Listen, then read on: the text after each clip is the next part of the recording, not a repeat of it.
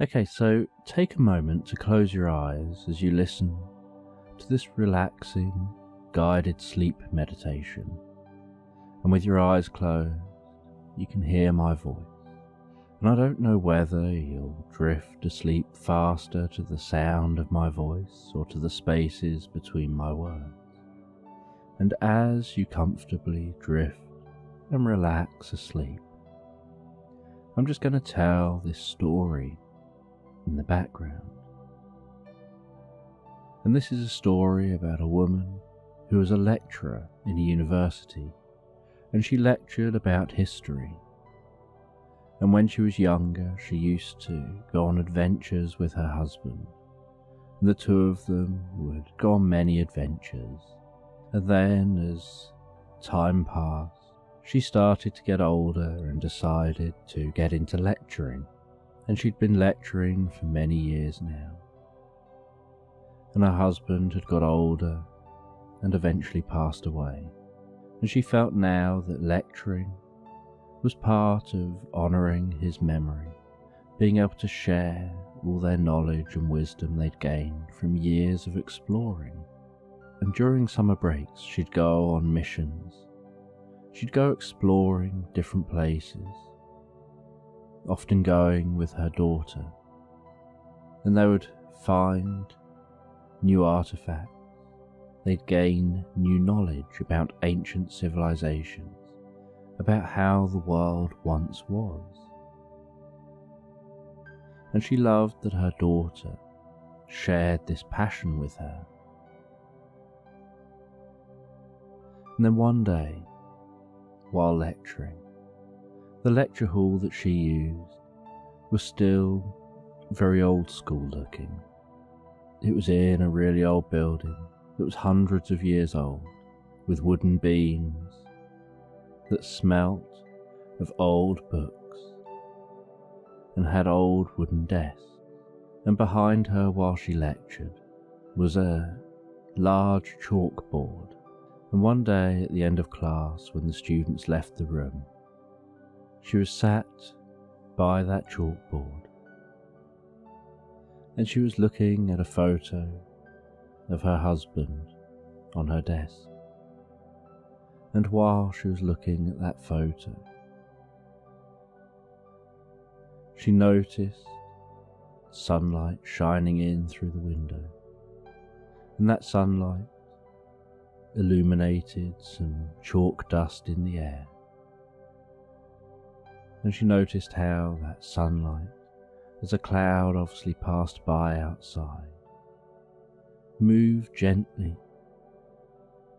across the chalkboard, and as it did, she could hear the distant sound of someone writing on that board, and writing began to appear and as the cloud passed the sun outside, and that light moved across the board, she noticed a short sentence appeared on that board, and that sentence was written in her husband's handwriting. And it just said it's time for one last adventure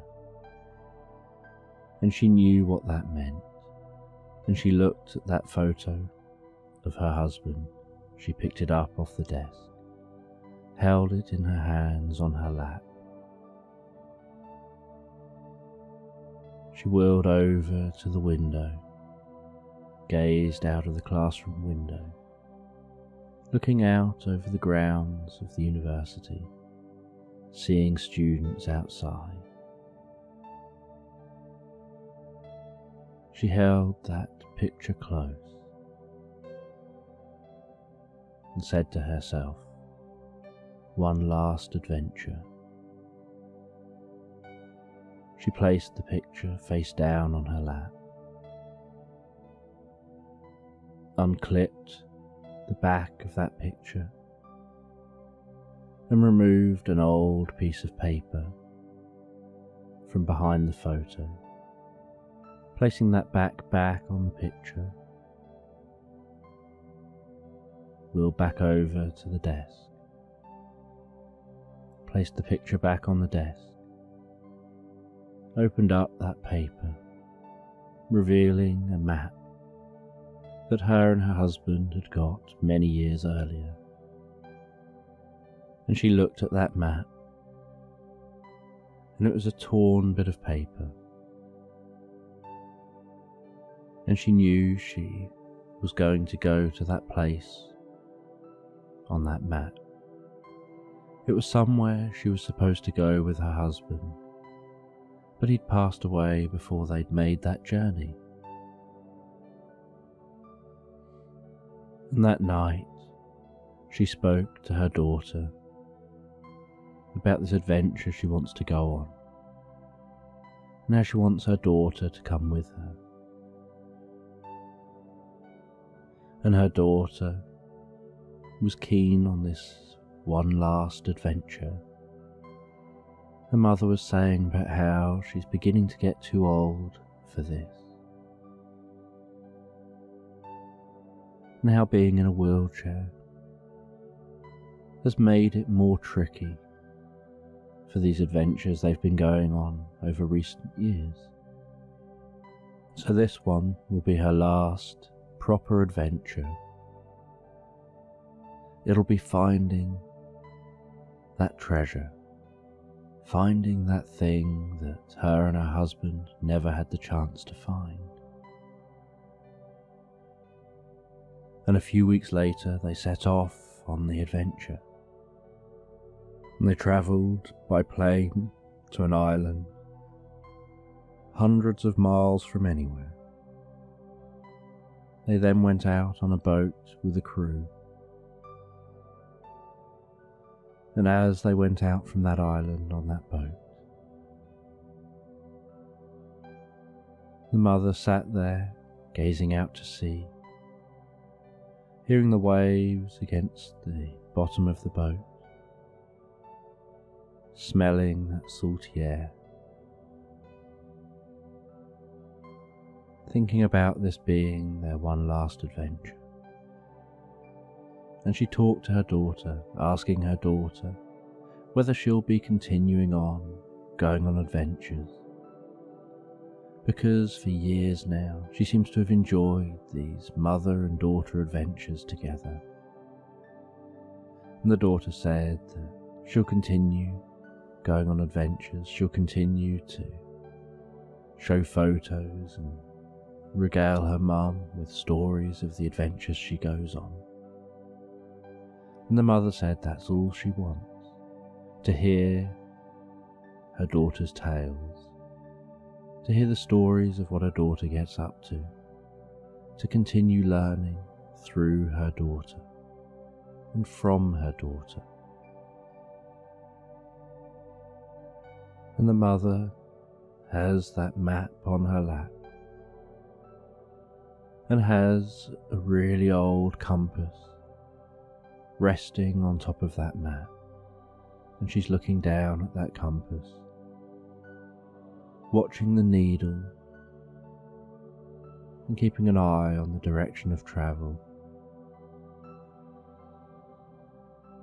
and as she looks at that compass, so she feels a sense of warmth, of love and connection, and has memories that come to mind of pleasant times, years and years of experiences with her husband, all the adventures they went on. The times they'd spent together little arguments they'd had over who was right, who gets to make what decision. And this was the last journey they were supposed to make together before he'd unfortunately passed away. And she was so happy that she was making this journey with her daughter and was aware that she'd put off making this journey because she felt it was supposed to be made with her husband. But now that she's much older, she just feels that she can't keep making these journeys, having these adventures, and that this is the time to make this last adventure. And after a while, as the sun's setting, the boat arrives at its location, many miles off from the island. And the mother and daughter go and get into a submarine. The submarine gets raised up off the deck of the boat, moved over the water, and then lowered down into that water. And as it passes down into the water, so they notice how it begins to rain. and how the sun, low in the sky, is illuminating that rain near the surface of the water, making that rain look almost like little drops of fire. As that sunlight catches those raindrops, and as that submarine passes under the water. So they look up. They can see the way that rain is pouring on the water above, making a fuzzy look to the surface of the ocean. And how that ocean is so calm, with long waves just gently rolling by. They notice how the sound changes down here in this submarine. They hear the voice from the boat telling them everything's good to go. They acknowledge this. Then the mother begins the descent down deeper underwater and as they descend deeper under the water, so the views around them begin to darken. They can see fish and sharks out of the window. And then they descend deeper, and everything gets darker out the window. They start to notice jellyfish and continue to descend. And the old woman looks at that map, looks at her compass, makes sure they're on track. And the descent takes a while As they lower down deeper and deeper underwater, with just the motor sound of the submarine. And after quite a while, the submarine reaches the bottom of this part of the ocean. And outside the submarine just looks inky black. And they have lights on illuminating the area around the submarine. And they begin to navigate towards a nearby cliff. And there are rumours of a cave being in this cliff. There are legends that once this area was land and a temple was built into a cliff and in this temple was a cup, a golden cup. And this golden cup brought peace to the land. That all the different tribal leaders would frequently come and drink from this cup as a show of trust and working together, and then they would go back to their tribes. And for many years, these tribes would come together at this temple. They would drink from this cup, and then they'd head off again. And after a while, the submarine reached the cliff face. And looking at the map, and looking at the compass, they worked their way along to where the cave should be, and they could see the cave appearing. And the entrance to the cave was larger than the submarine, as they piloted that submarine into the cave. They could see the light shining on the cave walls. Notice some bubbles rolling along the top of the cave, noticing crabs and other sea creatures down here that had obviously made this bit of cave their home. And after a while, they noticed this cave opening up into a larger chamber. And they could see that the water wasn't touching the cave ceiling anymore, so there must be air higher up. So they raised the submarine up until eventually the top of the submarine broke clear of the water and was just bobbing on the surface of the water, its bright lights illuminating a vast chamber. And the mother and daughter were both in wetsuits and the daughter went and opened the hatch in the top of the submarine, and then helped the mother to get to the hatch, and helped the mother up out of the hatch onto the top of the submarine. She then climbed out of the submarine herself, bringing with her a dinghy which she inflated once out of the submarine. She helped her mother into that dinghy, climbed into the dinghy herself, and then paddled that dinghy across this chamber, shining a torch around the walls, and could see at the far side of this chamber what looked like steps, like this chamber had been filled but somehow the pressure in this chamber had prevented it fully filling with water,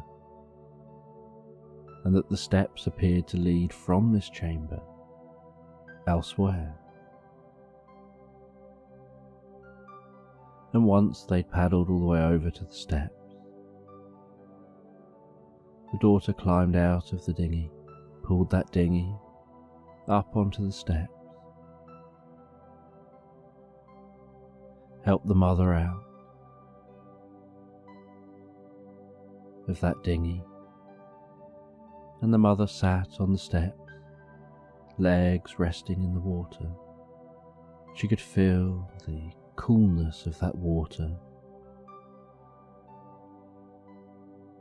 and was thinking about breathing in that air, breathing in air that hasn't been breathed for thousands of years.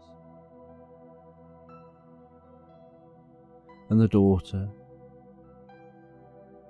assembled the wheelchair, helped her mother into that chair. And she had a special wheelchair that she used for many of her explorations. The wheelchair had wheels that allowed it to go cross country, that allowed it to go over obstacles, and although it was a very lightweight wheelchair, the way it managed to go over things made the daughter think of it as being a bit like a tank. That she pushed her mother through forests, She's pushed her mother along beaches.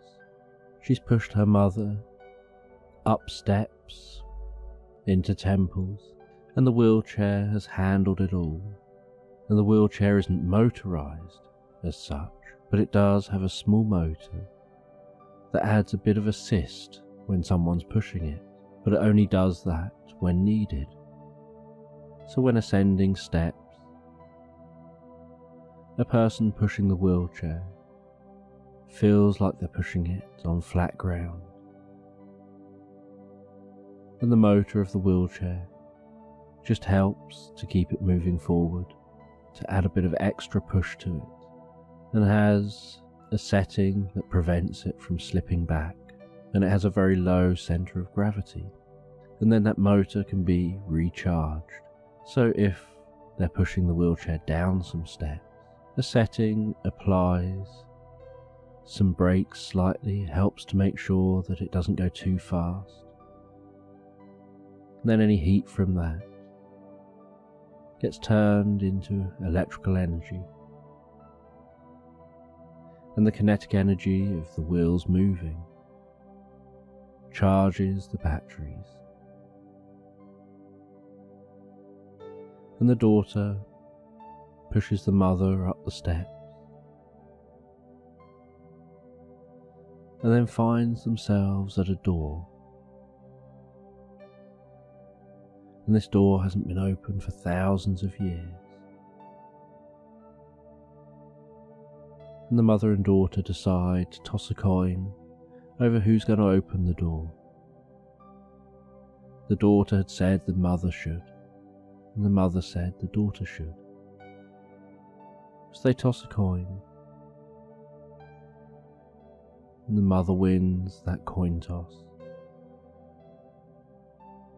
So the daughter opens the door. They go in to this chamber, and the torchlight bounces off golden walls, and in the middle of this chamber is a plinth, and on that plinth is that golden cup. And they notice that around the walls are scrolls in many shells. And they go and they look at some of those scrolls and they realize these scrolls tell the history of the people of this land. The scrolls talk about solving conflicts,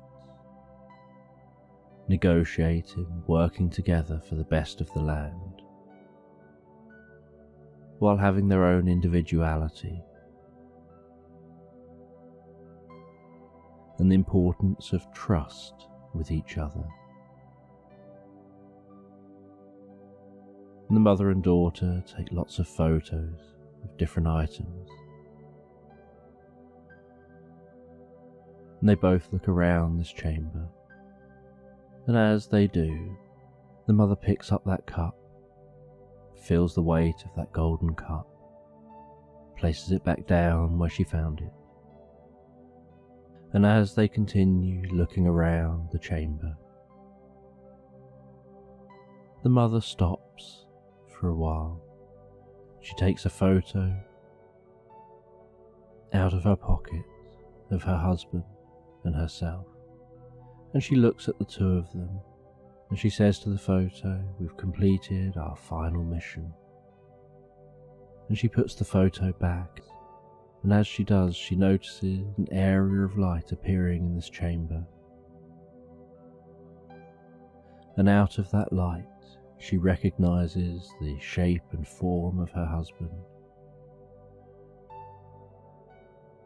And although it continues to look a bit like a hologram or an outline of her husband.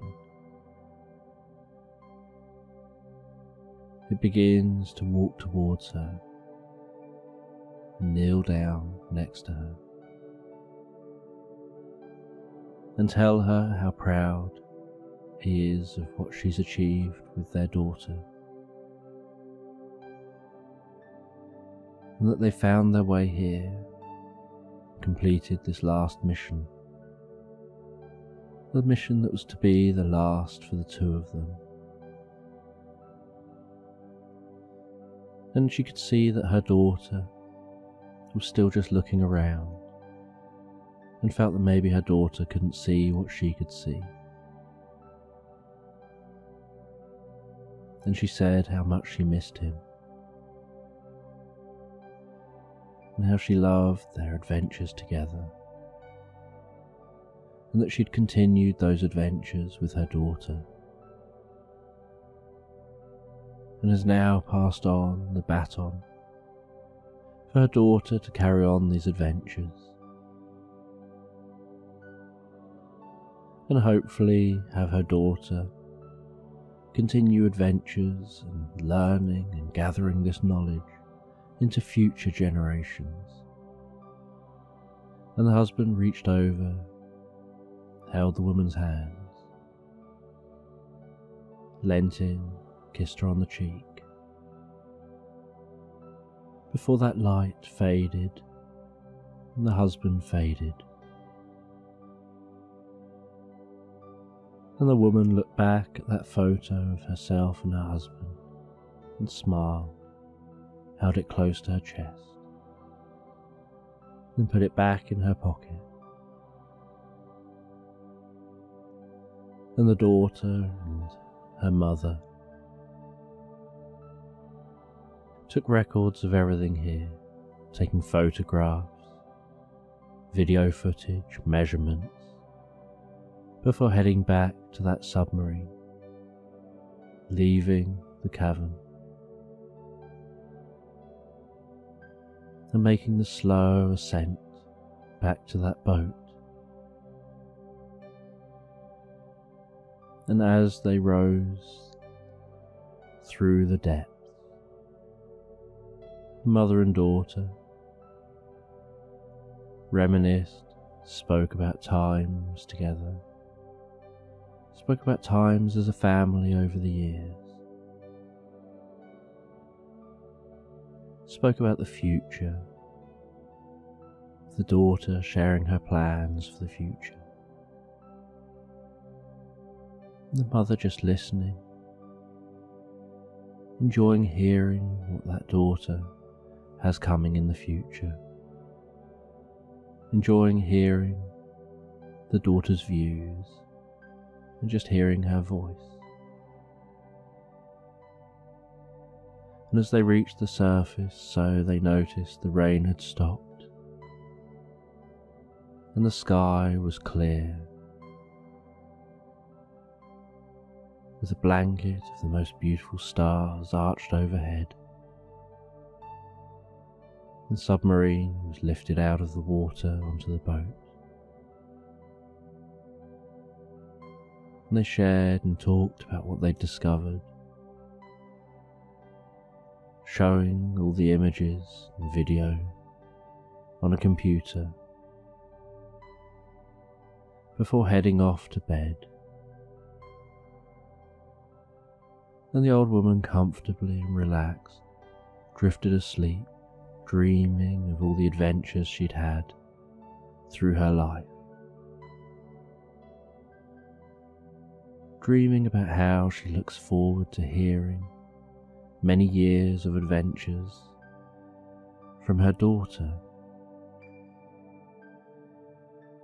in being able to regale some of this in her classes in university when teaching about history and about the world and engaging and interesting students